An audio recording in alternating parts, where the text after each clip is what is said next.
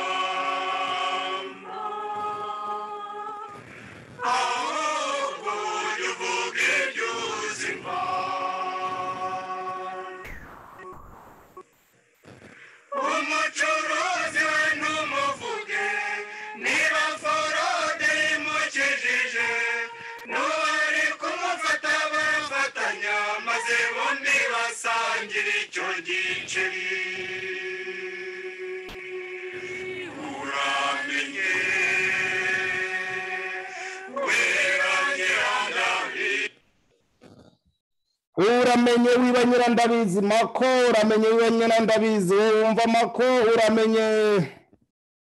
Wowe ushaka kubuza abantu kugira icyo bavuga nabwo uramenye. Ntabwo umuntu uzi ibintu byose. Mukomere mukomere cyane umukunzi wanyu mako. Ndabaramukije kandi mbifurije amahoro y'imana. Mbifuriza gucana ku maso muri iyi minsi mike ibarirwa ku ntoki dusigaranye muri uyu mwaka. Mako rero mako mako yakoze ishyano. Mako asoma ngo ubutumwa butemewe mako asoma ubutumwa bwo guharabika abantu no kugira gute. Mako rwose mako wakwihaye akabanga mako ko ukabije mako urakabije rwose. Mako uri igihubutsi. Mako rwose nta bwenge ufite. Mako byinshi byinshi byinshi byinshi cyane. Ariko muri uru rugamba twarujemo tutaje kwifotoza tutaje gukina tutaje kugira ngo tubeshyire abantu. Kugira ngo tuyobye abantu twaje muri uru rugamba hari icyo twigomwe. Mbere twigomwe twigomwe amaso y'abantu. Kabiri amatwi yacu twayafunguye ibitambuka byose biratambuka.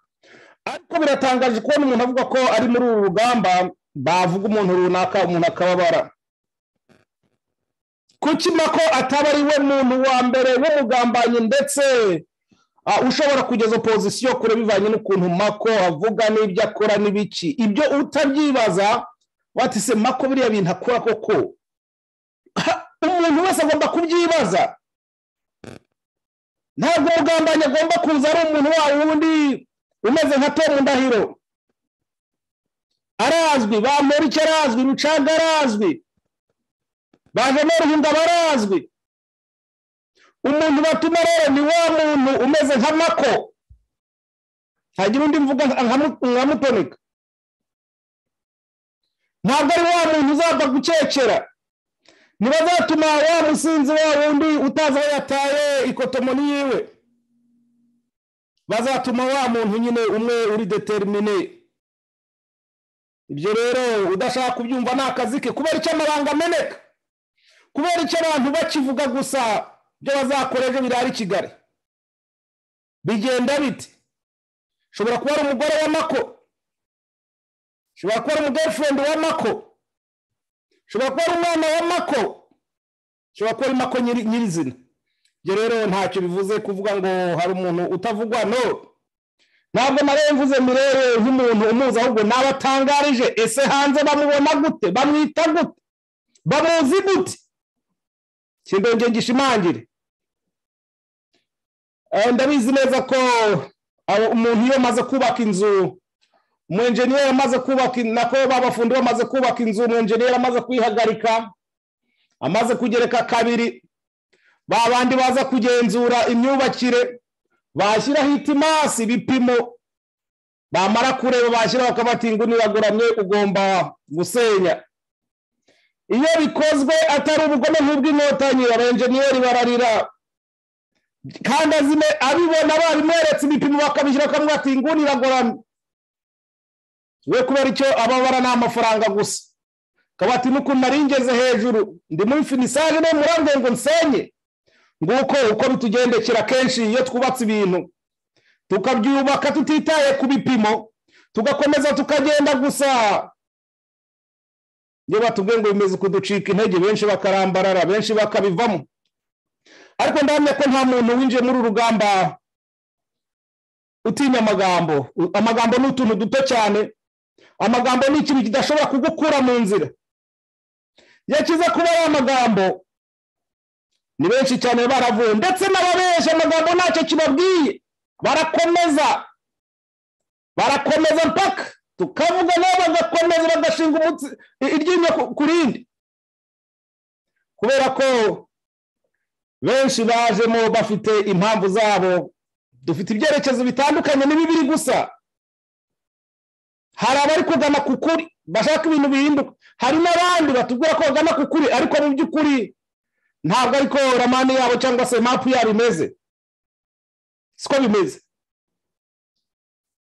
Ubwo rero ndagira ngo mbwire abibazaga ko ari ukuba twakwibasira abantu siko biri. Kandi niba uri gutinya kuvugwa no gutwara ibiyobyabwenge ni utuntu duto cyane. Ariko utinya umuntu bashyizeho dosiye yo gutwara ibiyobyabwenge bya miliyoni magana arindwi n'ebyiri. We uwo muntu ntabwo ari umuntu woroshye. Misiyo nk'iyo ntabwo bayishyiramo wa muntu umwe uri gusaba ibijumba byo kurya. Misiyo nk'iyo bayishyira kuri wa muntu banza kugushyiraho ka kandi ko ku- ku itako kareba ko udahukwa kareba ko udasimbwa n'umutima. Misiyo nk'iyo ntabwo ari misiyo y'ubonetse wese. Mwitonde umuntu agushyizeho biriya bintu atari byo. Wowe wabigira gute? Ariko uzi neza icyakuzanye mu rugamba urashikama. Erega twese ntabwo turi abere. Ntabwo turi abere. Misiyo nk'izo hari aho twagiye tuzikora. Ahubwo ibaze ngo iyo misiyo umuntu uyikora kubera iyo mpamvu. Urasumbirijwe. Wafatiweho inkota uri gushaka amaramuko cyangwa ni ibintu wagiye muzi neza. Ikindi umenye ko gutwara kokayine byonyine. Kugira ngo ukore misiyo yo kwicisha muri airport. Ikibuga cy'indege. Ntabwo uri umuntu usanzwe. Kabona na ba b'indege nabo barabasaka. Ntabwo apfa kwinjira uko abonye. Urumva? None ibaze rero kugira ngo umuntu akore iyo misiyo nurangiza niba avuga ku muntu nk'uwo ugira ikibazo. Ibaze noneho kuba bamubeshyera ikintu nk'icyo uba wumva icyo umuntu icyo baba bagamije kimwe n'uko ndahakanya ko bashobora kubikora kugira ngo bagire gute. Basenye opozisiyo ariko kandi ugomba kwibaza ngo kubera iki? Kubera iki? Ibi bintu ntibyaba bifite isano ese ni gute? Abateguye umunsi wa ingabire deyi ari bo bashyiraho uwo mwana w'umukobwa cyangwa se uwo mudamu ukiri muto. Bafashwe bitaraba byaciye byagenze gute? Misiyo zagenze ibi bintu mujya mubyibaza. Ntabwo tugomba kugenda gusa. Nk'abari mu misa ndahamya ko n'ubu ngubu mu minsi iri imbere padiri azajya abesha ikintu bamubwira atari kurabeshe padiri ntabwo bikiri ibya kera. Na pasiteri akiri aho n'isi iri kugana ko abatekamutwe babaye benshi. Ubwo rege ntabwo yari dosiye nini cyane yatuma ntayivugaho cyakora nababwiza ukuri ko ntacyo mpfa n'uwampaye iriya watanze iriya mesaje nta n'icyo mpfa n'uvugwa. Ahubwo ibi bintu byaba ari ukuri. Ese byaba ari urwango? Cyaba ari ikinyoma? Cyaba ari ikibuye? Ibyo tujya tubyibaza. Ariko ntukaze ngo ngomba ko wahubutse? No ngewe mako ndabagaburira kugira ngo mushungure murebe kandi ibyo mba mpagazeho mako mba mbihagazeho hari umugabo umwe rero umugabo kuri w'abandi b'abakirisi bemera imana umugabo ngo ni we yaravuye muri siriya yitwaga namani yari arwaye ibibembe. Byabaye ngombwa ko ngo yoga muri yorodani. Nk'izi za bayu bayu zitwara imyanda amazi ava mu makaritsiye iwanyu aho ngaho n'igihe imvura zuzuye. Aramubwira ati genda woga muri yorodani. Hari umujenerale yaroze kubera ko yashakaga gukira. Kuba rero uje kuvuguta uyu muti nk'uko nabibabwiye ugomba kubanza kuwunywaho ntabwo ugomba kuza gusa ngo uje gusoma ivanjiri ubundi ugende. Umuti uvuguse banza uwunyweho ejo nibatangira kuvuga amako ntabwo amako azava mu kibuga ngo yiruke. Ngo nanjye barambuze ubwo nzaba narindi kubeshya abantu. Mako nibamufata afitanye agakungu n'intore cyangwa se ari kumena amabanga cyangwa ari gukorera amafaranga bakamuvuga amako akiruka ubwo mako ntabwo azaba ari umusirikare. Uwo mugabo rero ngo yari umujeneri yambaye amapeti yidumbaguzamo inshuro zirindwi kugira ngo kubera ko yashakaga gukira. Nayo yakikomeza kunana ngo njyewe umujenerali sinakora ibingibi biva muri urwo rugamba wiruke. Icyo ni ikintu mbabwira. Kuko niba abantu bubaka ibintu buri gihe uwabyubatse wenda wari ubihagarariye ukabona bamutambikanya amaguru adakora hasi. Jya ubanza ngo umenye ibyo bintu byavuzwe nande. Ninde wabivuze? Byagenze gute ko mwari mwicaye muri batatu? Ninde wari ufite telefoni iri gufata amajwi? Muri mwese. Mwari mwicaye kwande byo nababwiye. Umuntu araza agahubuka nk'uyu munsi hari imirumbutsi muzi ko nawe mbabwiye kogeye nta muntu ushyira muri gurupe ya watsapu iyo ari yo yose ntuzate umwanya wawe ushyira amako muri gurupe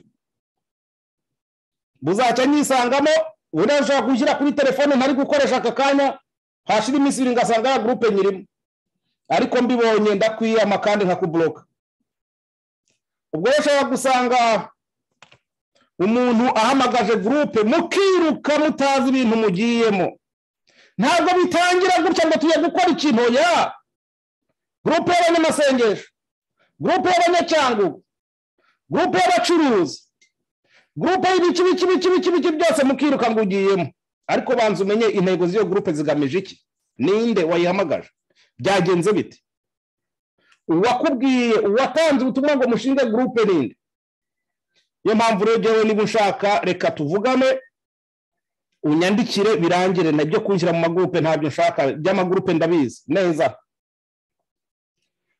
Ikintu kimwe rero nashaka kubabwira kwiseguraho ni kuri icyo kintu kuko abibwira ko hari ibyo tutazavuga azaba yibeshya ku mutware ni ho bajya bavuga ngo ntabwo ngo natwe turi abere mutunyomoze. Utemera kuba munyomoza rero n'abavuye mu kayira harabona abonye byabo baje kubera wenda se amateka yabo n'ibyo banyuzemo. Twese twaciye mu mateka akomeye cyane.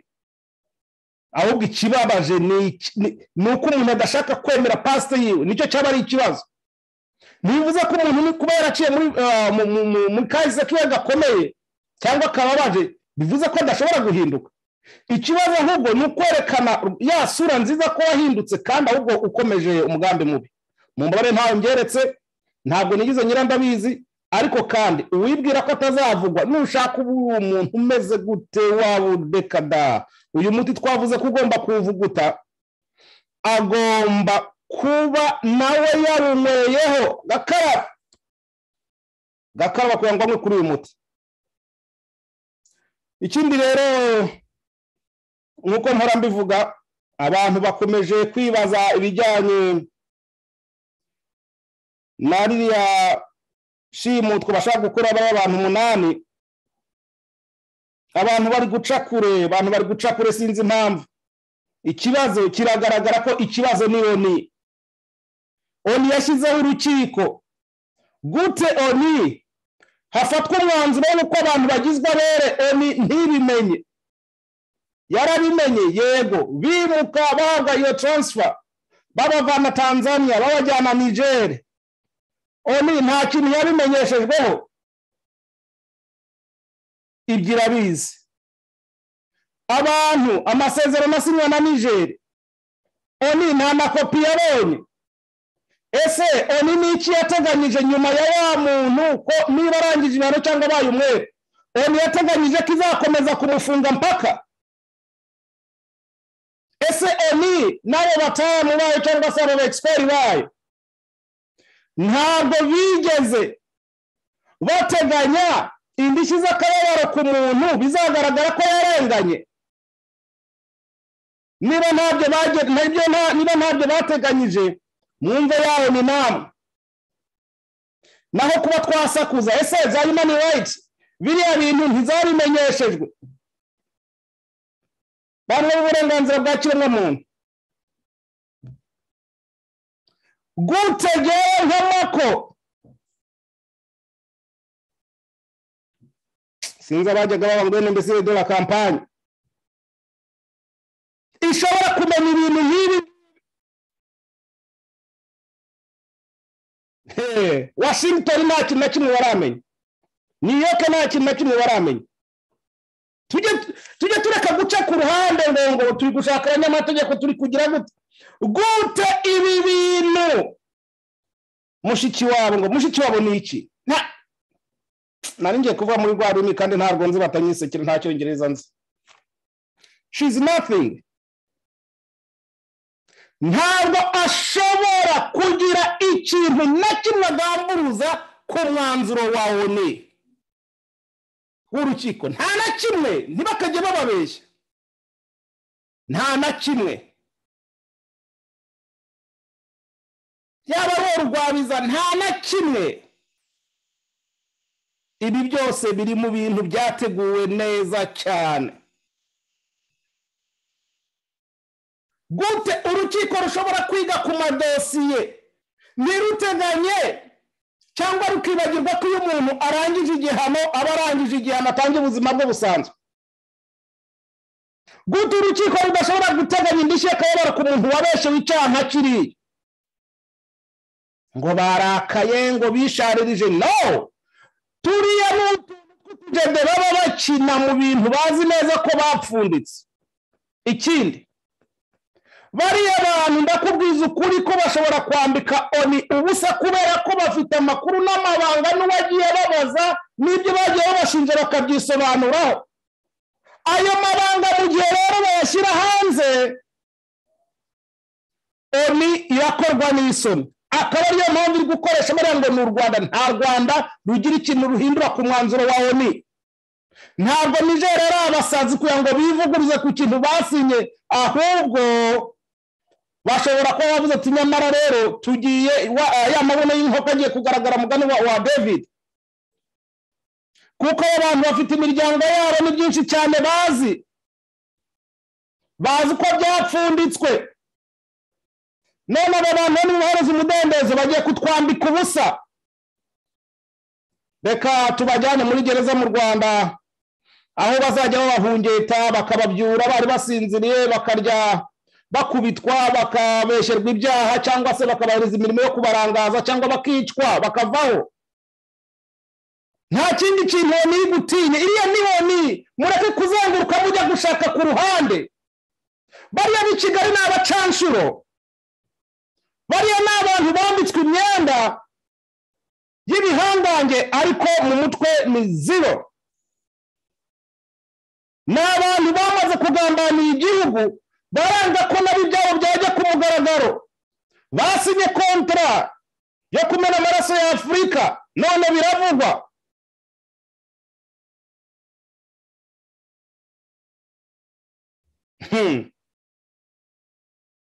Icyo ni cyo kibazo gihari. Nta kindi ni uko amakuru ajya hanze. Ntabwo muri nigeri rero ariko batize amategeko ya. Ni ka kaboko gaca inyuma. Ati mubigire uku nguku gute ushobora kuza ukabwira umuntu ngo habayemo agakosa ari byo tugiye gukosora ukamwaka ibyangombwa bye? Abantu bafite imiryango yabo. Gute itateganije icyo kintu ko umuntu uvuye mu rukiko agomba kuba ari umwere. Ngo kiriya cyaha ntabwo kizigera gikurwaho. Waba urengana waba utarengana.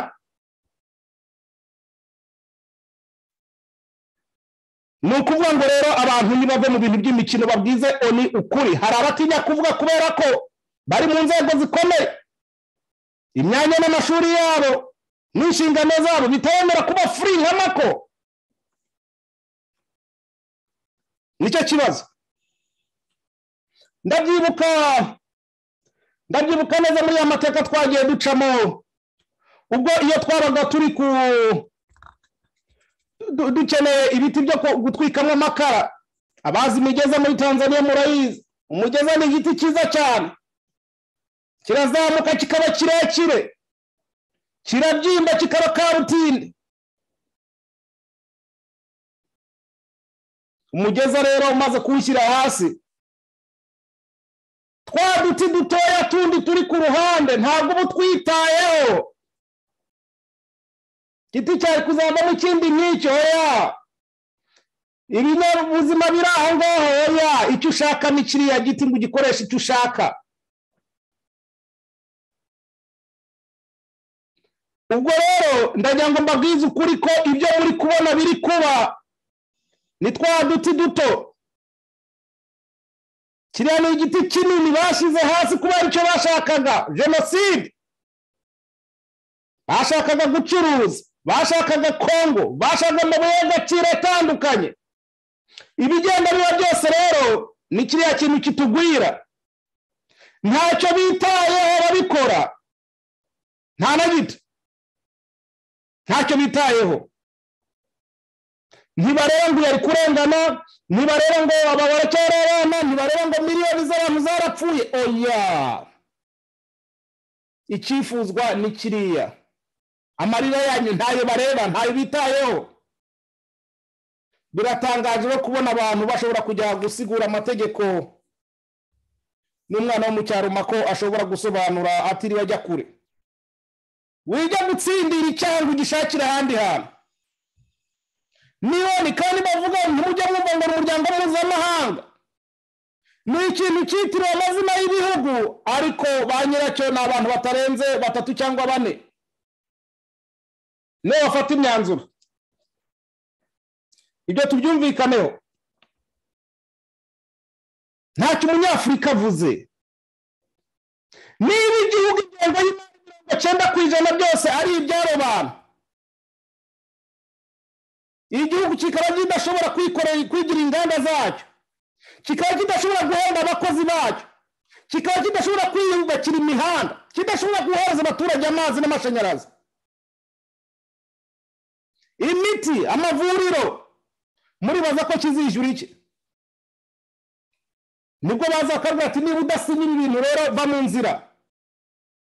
Afurika yagombye kuba ifite uko iri gutegura uko izabaho. Ariko ngo abitwa intiti bose barashyira bakajya kwitura muri amerika no mu burayi. Ubundi imfashanyo zigakomeza zitanga abiga nta n'umwe uvumbura. N'ubigerageje za leta zimuhigisha uruhinde yewe rero nkaba nimvisha ko ibyo abantu bari gutekereza cyangwa bibwira siko biri. Iriya ni gahunda yapanzwe na oni. Iri kubona bibaye bugufi igihe kiregereje. Naho abanyarwanda ntibavane ubwoba mu mitima yabo. N'udafite icyaha aragifite. Abanyarwanda nibagane imitwe yabo yonyine ya rezisanse nta kindi. Ibindi twaba tuvuga twaba twibeshye ntabwo ngiye kubarambira singiye kubatindira nagiraga ngo gusa mbahereze aka kantu kuko nabonye kateje umutekano muke mu muhanda. Kateje umutekano muke mu muhanda ndagira ngo rero abibwiraga ko ari urwango si urwango abibwiraga ko ibyo tuvuga tutabizi turabizi neza. Mwitonde. Mucane ku maso icyo kuvuga mukivuge mudaciye ku ruhande. Yari umukunzi wanyu mako bayi ambasigane n'aka karirimbo ka musoni varisi